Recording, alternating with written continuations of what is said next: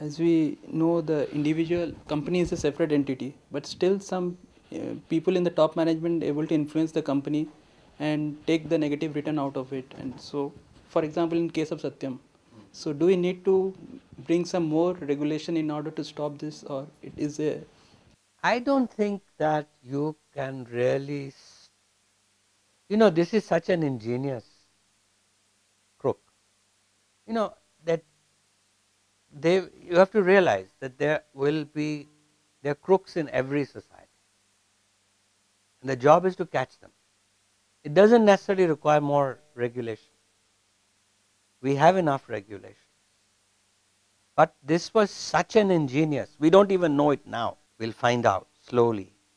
But presently I would say you can do a few things. For example, I am on the number of boards, I am on the several audit committees and we have to go by what the auditors say. So, what you can do is you can make the internal audit more independent. See, about 70 percent of Indian companies have internal audit by internal auditors, meaning they are employees of the company. You can ensure, you can insist that this should be outside EDCO and it should report directly to the audit committee, those kind of things. But by and large in the Satyam type of case, you cannot prevent it and you should not. I mean this is a very unusual situation. I would have laws for a million people, not for one person. That one person will always be there. Well, I would only say that uh, the it's very very important. Certainly, if there is a lesson in, in the Satyam drama, it is the importance of being honest, of integrity, and it's the only thing of value at the end of the day that people remember you not for what a bright report you wrote or that you got market share for a while for your company. They remember you for integrity, for your character. So is it not possible we will ask the corporate to adopt those schools and so that they can extend their CSR activities? Uh, you know, corporates should do their own job. It's hard enough to make money. It's hard enough to make money. And frankly, CSR is a nice word, but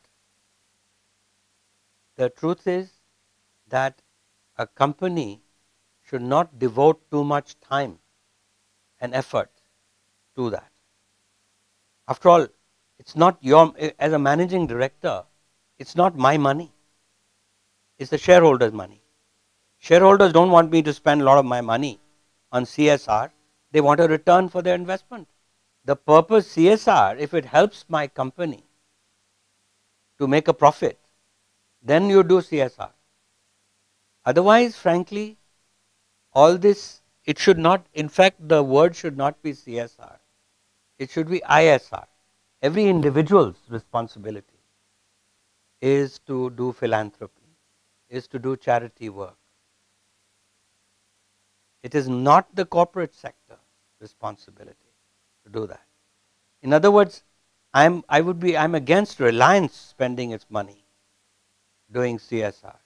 But Mukesh and Anil, they must spend their money in this because that's their money.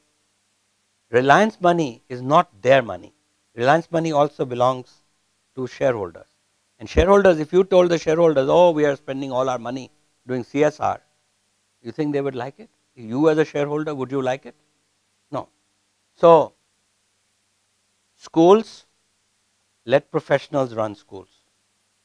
It is a professional activity and let us not depend too much on this fuzzy wuzzy CSR.